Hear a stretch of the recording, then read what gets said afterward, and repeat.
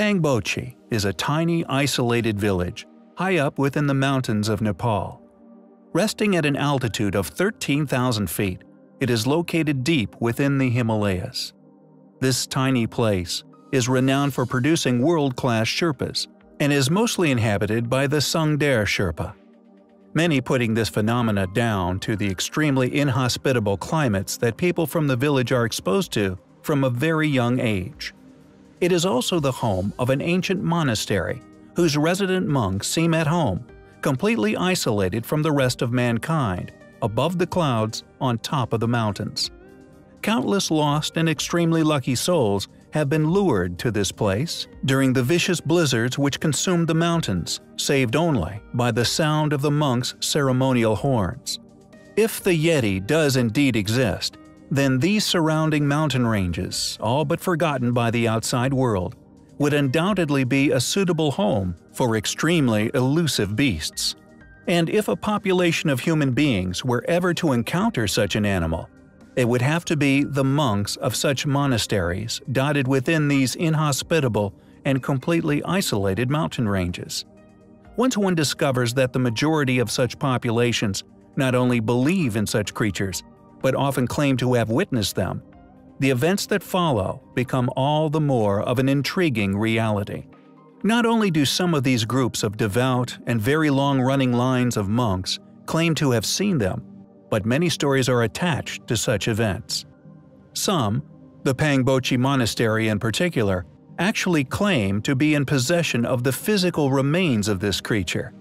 Peter Byrne, funded by an extremely wealthy oil tycoon by the name of Tom Slick, would find these remains high within the mountains that the monks had kept with them for many years as a ritual artifact, a part of their ceremonies day by day. Known as the Pangboche Hand, Byrne had no idea what to expect. Imagine his surprise when the monks produced what appeared to be an authentic Yeti's hand and a complete scalp.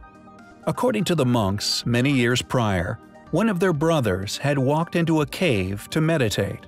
There, he saw a Yeti. He returned many years later to find that the Yeti was dead. He collected a hand and the scalp and took it back to the monastery where it remained. Astounded by the artifacts, Byrne requested they let him take them away for further study. Unfortunately, the monks refused, claiming the remains were too highly valued by the monastery. Unperturbed and determined to come away from there with some sort of hard evidence, in a shocking move, Peter Byrne stole sections of the hand bone from the monks, replacing them with human bone. Byrne then smuggled the bones out of Nepal and into India, where actor James Stewart allegedly smuggled the hand bones out of the country in his luggage to England. Once at the London University, primatologist William Charles Osman Hill conducted a physical examination of the pieces that Byrne supplied. His first findings were that it was a hominid, and later, in 1960, he decided that the Pangboche fragments were a closer match to a Neanderthal, but not an exact match. In 1991, in conjunction with Loren Coleman's research, it was discovered that the Slick Expedition consultant an American anthropologist by the name of George Agogino had retained other samples of the Pangboche hand kept from the original theft.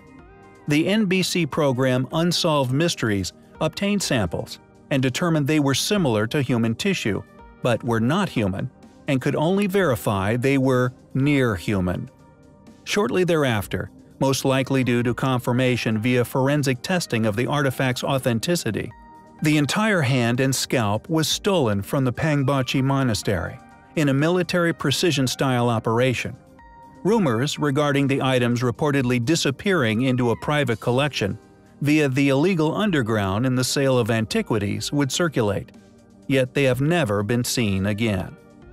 George Agogino, before his death on September 11, 2000, transferred his secret research upon the Pangboche Yeti hand to Loren Coleman. In 2010, Weta Workshops, who did the models for the Lord of the Rings movies, kindly produced a replica skull and hand based on photos of the missing hand and skull. Mike Alsop handed over the replica skull and hand to monks at Pangboche in May 2011. They seemed to be very pleased to have their artifacts back. Let's just hope no one tells them. From all over the planet, ancient legends of a bipedal ape-like creature, far larger yet apparently incredibly intelligent, have persisted into the modern day. Legends which arose worldwide. Creatures now witnessed by literally millions of souls, Yet, regardless of the literally global distribution of reports of these said animals, they have remained elusive to modern science. In all but a few, very interesting and curious cases, one of which being a most curious of discoveries made in 1951 on none other than the slopes of Mount Everest. Some argue that such a large creature, no matter the remoteness of its claimed habitat, if in existence, would have been captured and or exposed to the wider public by now. This, regardless of their possible intelligence, ability to see in infrared, allowing them to dodge trail cams, and also that there are discoveries of new animals, including large mammals, made almost weekly on our planet. It would seem, although modern technology has brought us together, giving the apparent impression that our planet be smaller than it is, in reality, there are still vast stretches of terrain yet to be fully explored, and rarely, if ever, visited by man. Mysterious events have also occurred during the modern age, like that of the Dyatlov Pass incident or the Pangboche Yeti which still reside within a monastery in Nepal, which all evade explanation without the existence of this creature. As mentioned, in 1951, an incredible find was stumbled upon by none other than Eric Shipton, an incredibly trustworthy source and man of great integrity. While on the Menlung Glacier on the west side of Mount Everest, while looking for an alternative route to the summit, Shipton came across a seemingly unending set of tracks, recently left by a barefooted bipedal creature of massive proportions. So stunned was Shipman by this find, he carefully examined and photographed the best print, laying his ice axe beside it in an attempt to demonstrate its enormous size. According to National Geographic, quote, Shipton and Michael Ward were searching for an alternative Everest route when they came across the prints. Shipton was one of the most highly respected Everest explorers, so if he is bringing back a print, it is a real print. Nobody could ever question that. End quote. Thus, the question is, what could have made them? Could these be authentic, actual prints of a snow yeti or abominable snowman? A slightly different species of Sasquatch, one adapted to colder, more mountainous environments?